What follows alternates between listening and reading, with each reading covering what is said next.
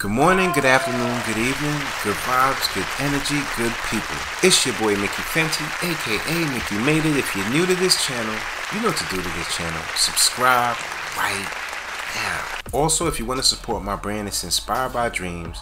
Dot shop. We got everything hoodies, snapbacks, everything for you to get your drip on and dressing outside of the box. Okay, today's episode, we got to get into this. When it comes to community, when it comes to families, there's a lot of issues that we all deal with. And today we're just breaking down generational traumas.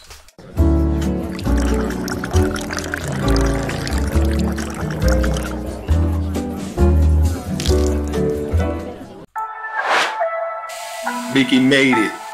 Mickey made it. What you made, Mickey? Forget about the way it used to be. This is not a damn democracy. We are in a state of emergency, and my word is law. Generational trauma is crazy because get this, my sister and I, who are complete opposite people, always have been in values, beliefs, hobbies, self expression, overall aesthetic, completely opposite, are now starting to come to the realization that we have had or are reflecting on our past. And there are a lot of similarities that we are currently experiencing with one, if not both, of our parents. She's starting to figure it out a little after I've figured this out for the last few years. She's a Christian, so she calls it generational sin. I call it generational trauma. We're both very aware, like, we cannot have this continue anymore. But what do you think that says when two completely different siblings start to realize that they have similar experiences with one or both parents? Like, what do you think the common denominator is? Just because I twerk, just because I wear certain clothes, and just because I'm young doesn't mean I would be a bad mom. I literally just watched a video of a 17 year old saying that, who's pregnant, having a child, right? Soon to be a mother. And uh, that is one of the many reasons why I do not congratulate children for having young for having babies young. There's nothing to celebrate. Right? Supporting you and helping you get what you need to be the best mom that you can be, but we're not celebrating. This is not a celebration, right? We don't realize that we are our children's first teachers, their first role models. So if you don't think that all you do is twerk your behind and wear certain clothing and behave certain ways, that that is not a form of bad parenting because you're setting the example, you're insane. But unfortunately, this is a 17 year old who thinks this way. This is the same way that grown women think. They don't think that has no correlation on their parenting. None their kids are watching and they think, oh, well, it's not, there's no reflection of who I am as a mom. Yes, it is because your kids are learning from you. Who they become as an adult, who they become, you know, their characteristics, their behaviors, they're learning it and watching it from their parents. They're watching. And children having children have no idea. They don't get it. But this is the reality where we are. This is what it is. I have a transactional mother. She's not going to text me to see how my day is going or how I'm feeling.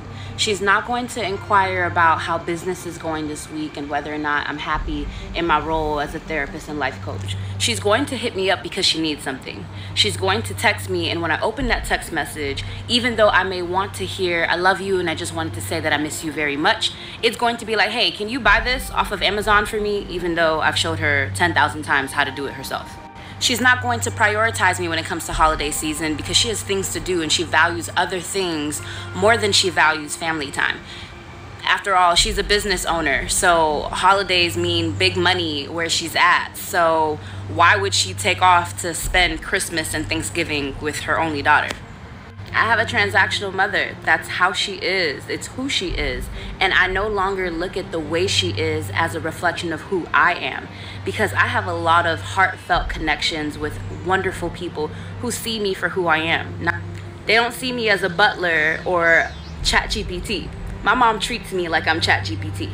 She comes to me with questions and she expects answers. And God forbid I ever make a point that she doesn't connect deeply enough with me, she's going to say, I don't know where I went wrong. I did everything I could, blah, blah, blah, blah, blah. She should have hired a butler, not had a daughter. What's worse is I have a transactional mother that has a better relationship with my brother. But I already made a TikTok about that. I'm not going into detail with that. I'm making this video because I have 16 messages and I felt super overwhelmed just looking at it. And then I reminded myself I have a transactional mother. I can respond when I'm ready to. If you can say that you have a transactional parent, I pray you have similar boundaries where you realize I ain't got to respond right now. I'm not ready. I don't feel like it. I will come to you when I'm ready. I hope you have a similar boundary. I hope you don't feel pressured to respond r- right away. You are not ChatGPT, babes. You are not ChatGPT. Make sure, no matter how transactional your parent is, whenever you feel that guilt, you remind yourself that it's only because you're familiar with having to respond in this way. They raised you in a in an environment of urgency when they had a need because they selfishly wanted you to meet that need instead of realizing I don't have everything I need to parent properly and I need to figure out a way to to to you know uh, make up for this and compensate for this, they made it your responsibility, and that's why a lot of us became adults at early ages. I have a transactional parent. I know all about it. This generation fucked up. Each one have depression, taking pill and anxiety. This is a great example of how intergenerational trauma occurs, especially true for racialized people. Because immigrant parents have had to go through oftentimes horrific realities, the assumption is that things are not that bad when you move to a place like North America. Why would you have depression? Why would you have anxiety? Why would you be suffering from symptoms of trauma? What's missing is that immigrant parents don't realize that that shouldn't be normalized. The horrific experiences that they had aren't normal and shouldn't be normal. Because this opinion is so prevalent in racialized in immigrant communities, oftentimes people don't know when their problems are serious enough to get help. What you mean you 16, you got a full sleeve of tattoos and your mama let you smoke a vape?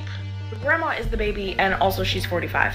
In all seriousness, it's the parents. It's always the parents. I like this creator's video because she's like, your mom's letting you do that.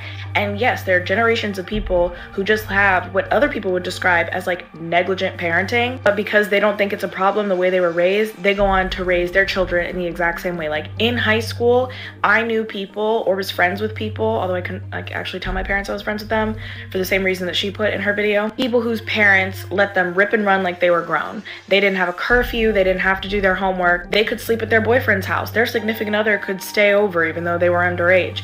Their parents bought them alcohol, but some of their parents might even let them in the house or with them. Some of their parents let them get pissed drunk on vacation. I knew a girl whose parents let her move in at 15 with their boyfriend. Kids aren't getting worse. Actually, every statistic about um, millennials when they were young in high school and Gen Z, will probably be the same for Gen Alpha, shows that teen pregnancy, drug use, underage drinking, they're all down. People are becoming sexually active at older ages now. That's very different in comparison to our parents depending on how old your parents are, and our grandparents' age. So it's not like some widespread generational issue, despite people like hand wringing in the comments, like, oh my god, teen culture's dot. No.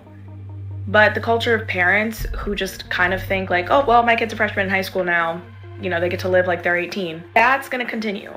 I just feel like that's a really big part of your 20s, like realizing that a lot of it just comes down to your parents, whether that's fair or not. And it's really unfair for the kids who have bad parents, but like, yeah, a lot of your high school experience and how well you do in school depends on your parents staying on you about getting good grades or putting in the work to sit down with you at night and make sure your homework is done or putting in the work to make sure that you're not ripping and running in these streets like you're grown and preventing you from getting into some really bad situations. And then also a big part of it is just how many people don't actually want kids in the first place. Like they wanted a baby, they wanted a toddler, but then it's really annoying to deal with a person with thoughts and feelings. So it's just kind of easier to be like, mm, you're grown enough.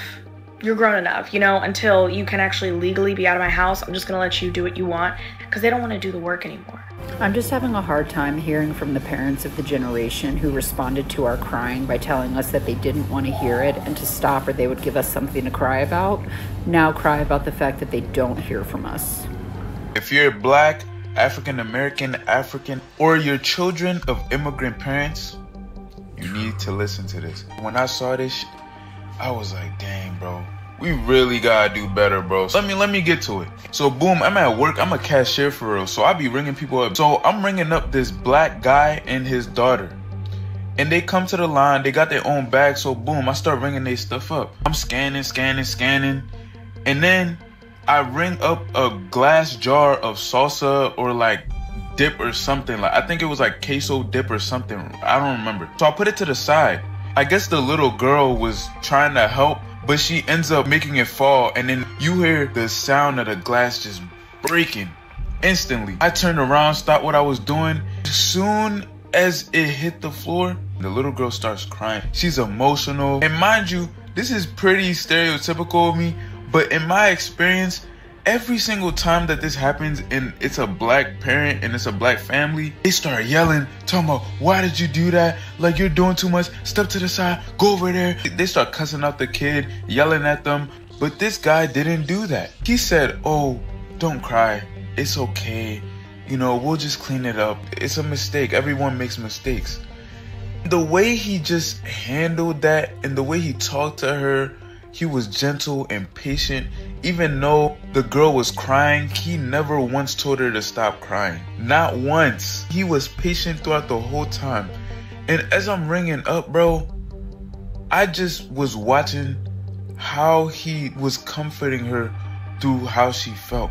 And I was like, bro, if only, oh my God, if only people like us of our color, immigrant parents, they all knew how to do this, bro.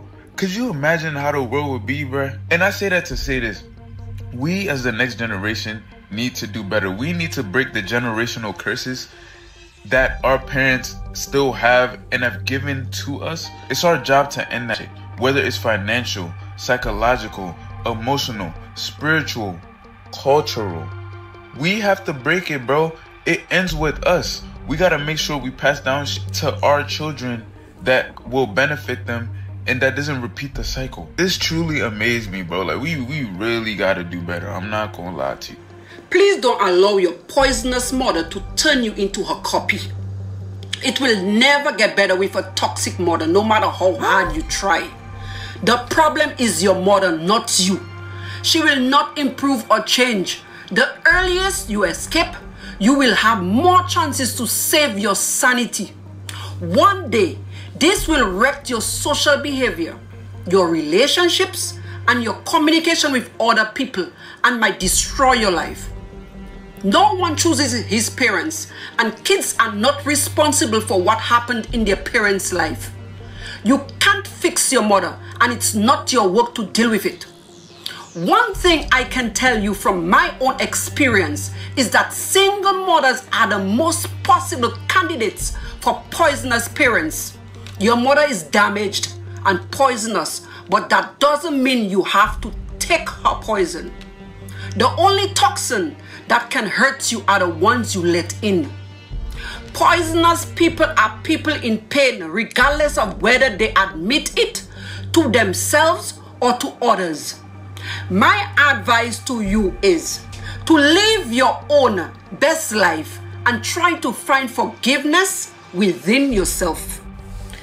Your decision to go no contact with your family of origin is 100% the right decision.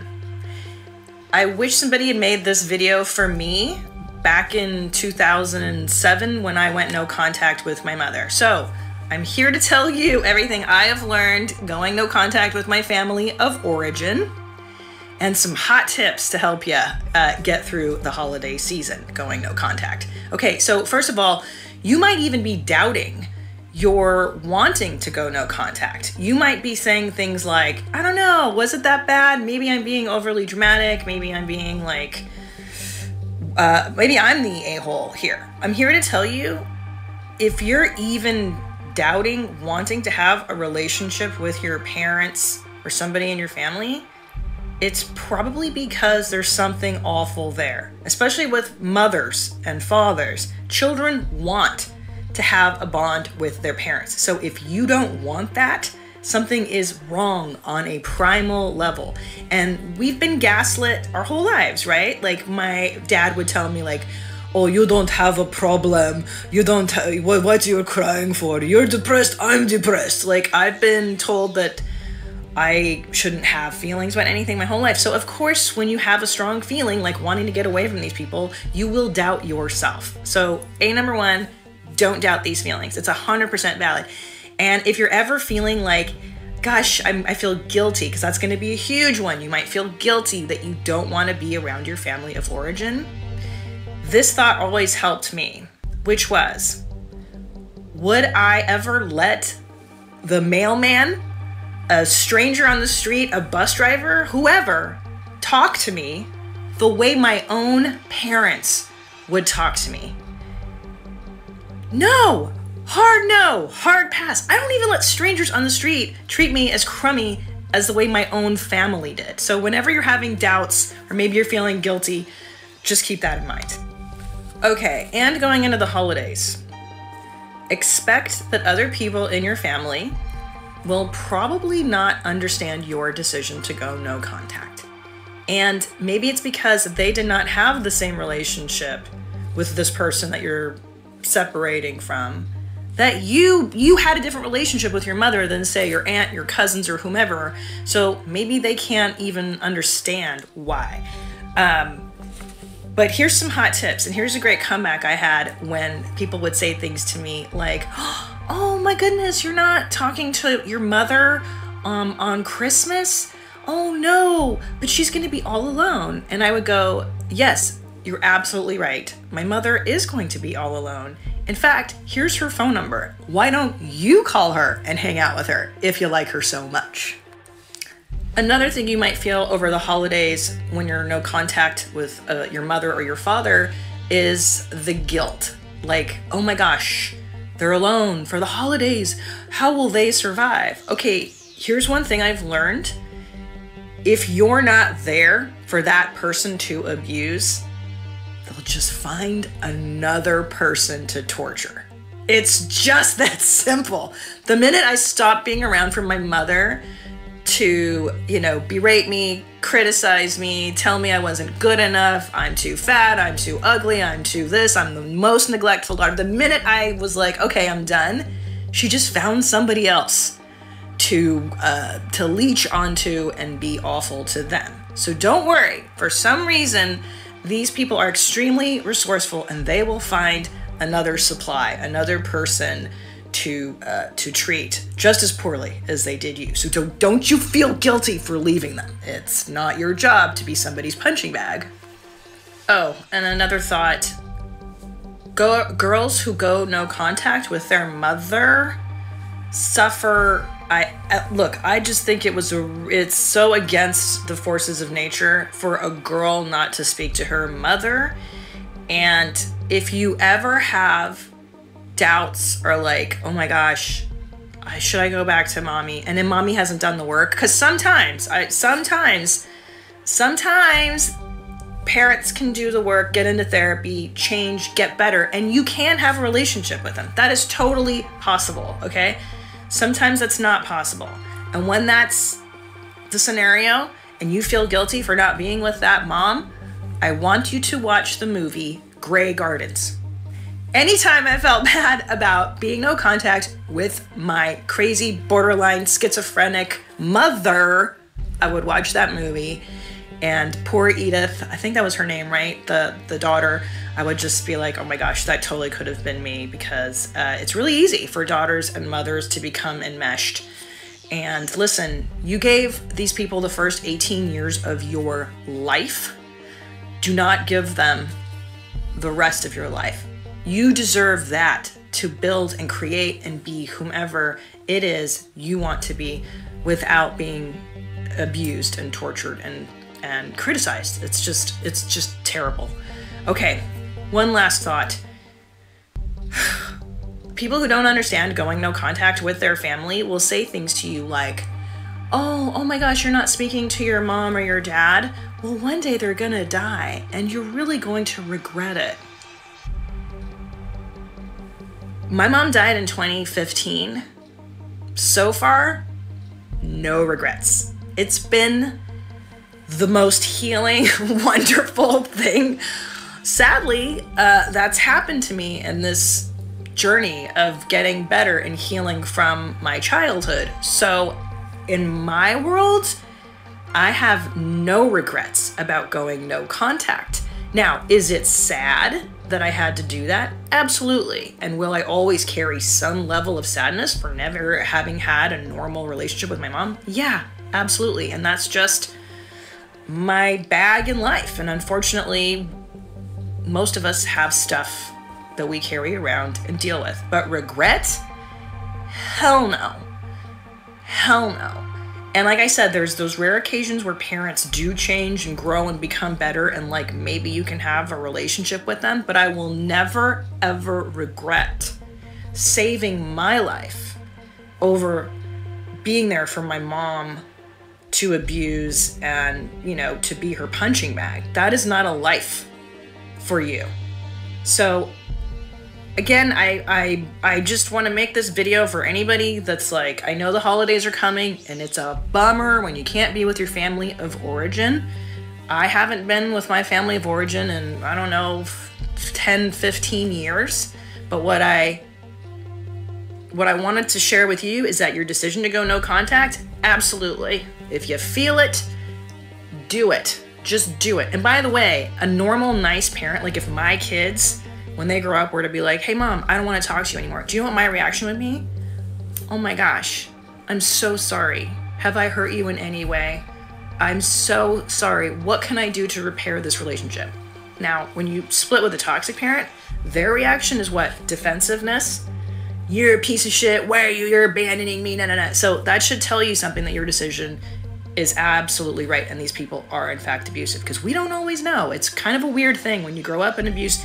You don't really know you're being abused until you're out of it and you're healthy and you're in therapy and you're like, oh, yeah. Oh, oh, that was child abuse or that was really fucking weird that my mom you know, wouldn't let me have friends over. Why? Because then they might see that our life is weird and I might tell somebody or whatever. So, zero regrets. Take care of yourself and make a holiday that makes sense for you. I, um, yeah, I, I now celebrate with my in laws, whom I adore. I love them. And I'm I'm just blessed to have my own family that I put my energy and my love into and not my family of origin who will suck that valuable energy and space that I'm now giving to my children to make their lives better. I know this video is super long. I wanted to get this out there before Thanksgiving, before I'm actually gonna leave and, and go for a week. But anyway, I hope you're having a great holiday. And uh, thank you so much for watching these videos. I'm really enjoying making these. And um, okay, talk to you later. Bye. There were um, generational curses that bled into my generation when it was time for me to be raised and things that I'm trying to unlearn and and forgive and forget, you know, that are really hard to um, and as an adult you try to be empathetic to your parent because you know that they were only doing what they were taught. You know, so it's like a it's a double-edged sword where you're trying to be, understand like I know you were the way you were because of how your parents were to you, and that's all you knew. You were doing the best you could, but now I'm fucked up. 95% of trauma is multi-generational. That's just how it works. We unwittingly pass it on. Whatever was passed on to you happened through your parents and through your parents' experience in life, which they hadn't quite resolved by the time they had you. That's how I would say that the multi-generational is passed on. And a lot of, you know, sometimes Jason people tell me, I had a perfectly happy childhood, you know? And uh, that usually takes me about three minutes to sort that one out. I think the more people understand their own traumas, the more see with clear eyes the traumas of others.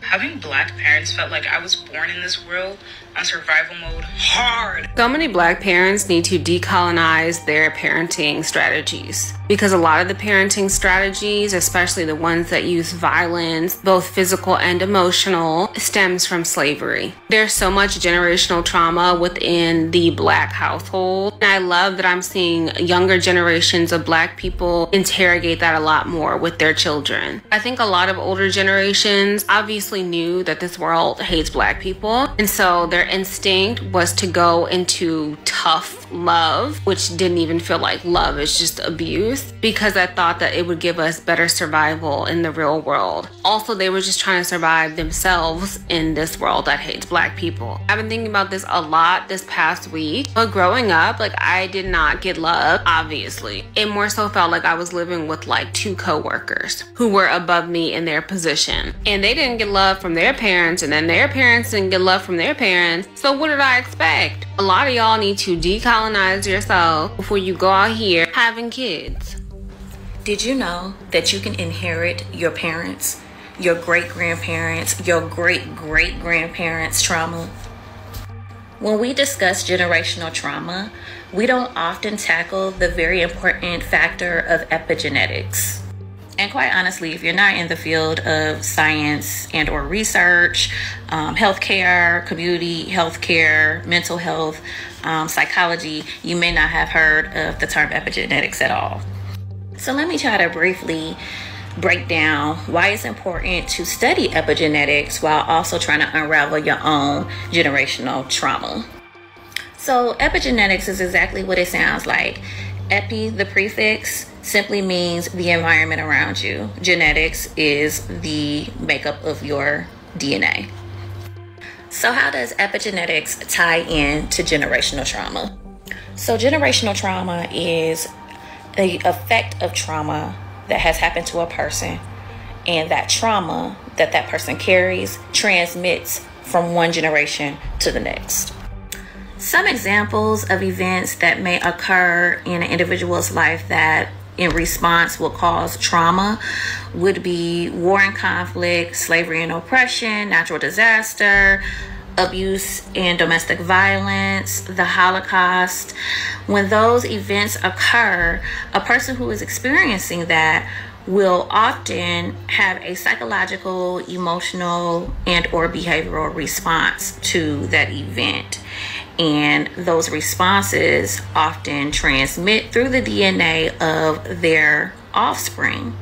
And that is how generational trauma develops. So, epigenetics directly correlates with generational trauma in that the trauma will embed itself in your genes and it will change your genetic expression, causing that genetic expression to be passed down through generations.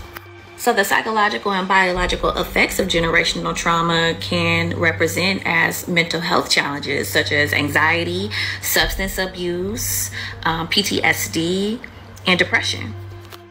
So now we have multiple generations of people who have developed coping mechanisms and behavioral adaptations that stem from unresolved trauma these coping mechanisms and behavioral adaptations affect family dynamics. So then you have parents who are pushing this parenting style that no longer serves them because the parenting style is impacted by the unresolved trauma.